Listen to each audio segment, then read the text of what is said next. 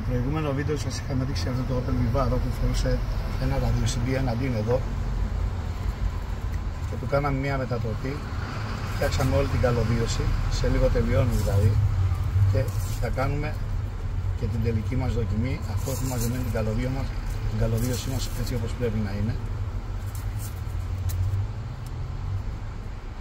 Και η μετατροπή όπως έγινε εδώ και μπήκε δύο διν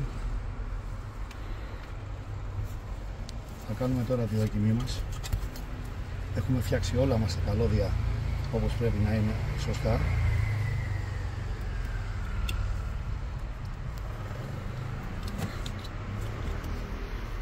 Τις τελικές ενώσεις όλα.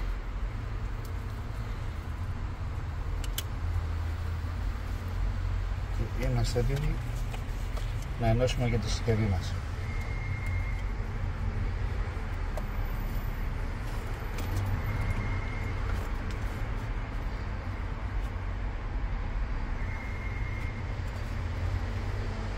Και από ό,τι φαίνεται κάναμε σωστά τη δουλειά μας.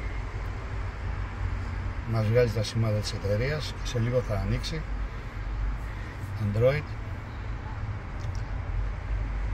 και θα είμαστε έτοιμοι για την τελική τοποθέτηση όλης της κονσόλας στο ταμπλό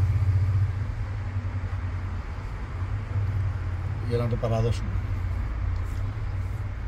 Επίσης στο ίδιο αυτοκίνητο περάσαμε και κάποιους φωτισμούς.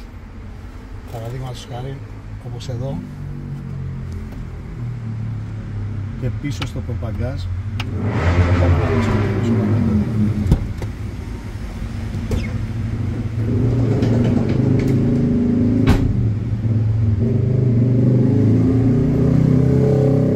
Περάσαμε περιμετρικά σε όλο το προπαγκάζ